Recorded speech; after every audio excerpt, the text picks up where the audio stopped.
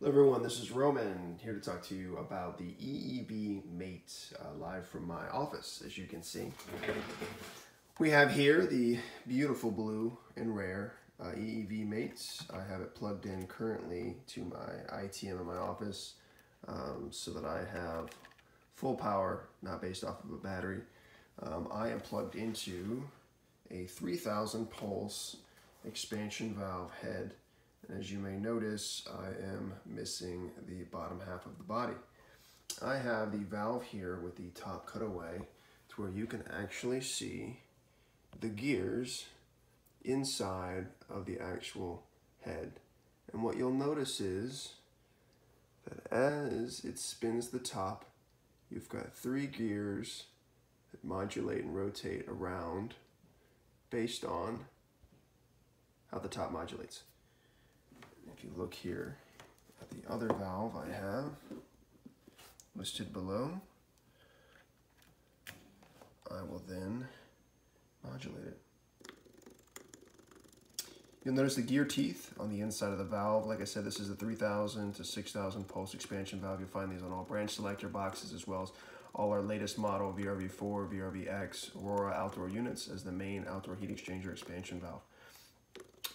You'll notice as I change my revolutions on my actual EEV mate that it modulates the valve on the inside. So with that being said, you can actually pull this out. You might actually take two hands. Set you up here.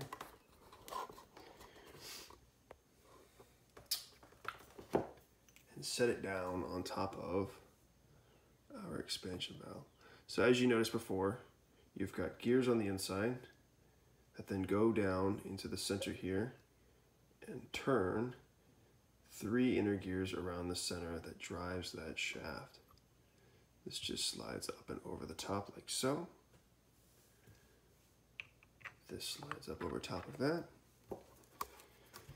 And we pop our EEV on top.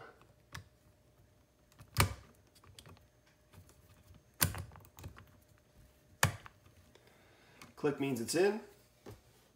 Let's drive it.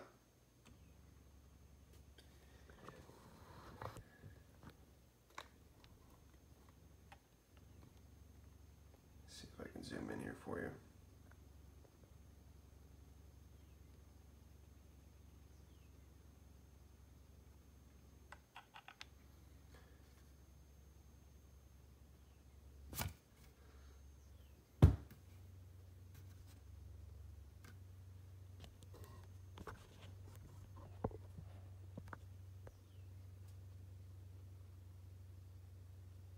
Slowly but surely one of the slowest valves we have and that's just due to the amount of actual range we have for control.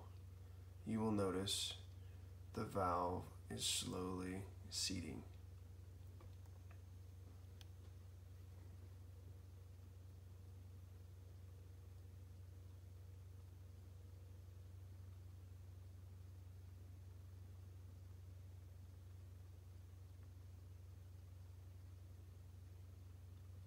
you might wonder, well, I can't hear it operating.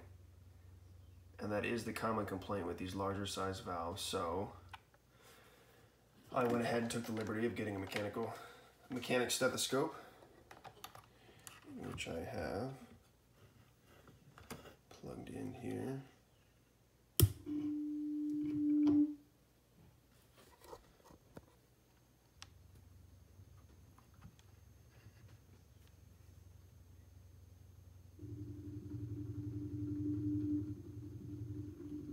You can hear it.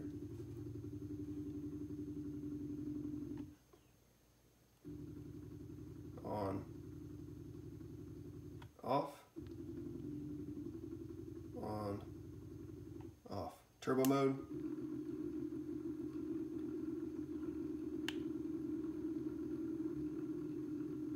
As you can see, I'm driving a lot faster.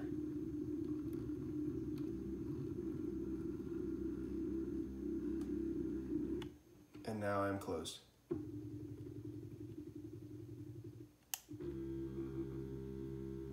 And that is the sound you will get when this valve is 100% closed.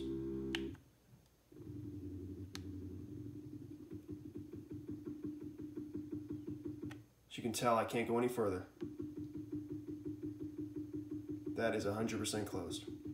You will get the same noise when you're 100% open. When the gears can no longer turn and the center can no longer oscillate and spin. And what's it sound like in turbo mode when it's closed? Let's hear what it sounds like when it's opening. The sound we've all come to love and know with the 2000 pulse gear driven valve. Turbo.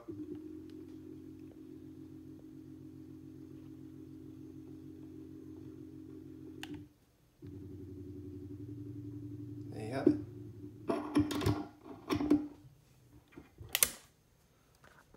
Voila, the sounds of the EEV.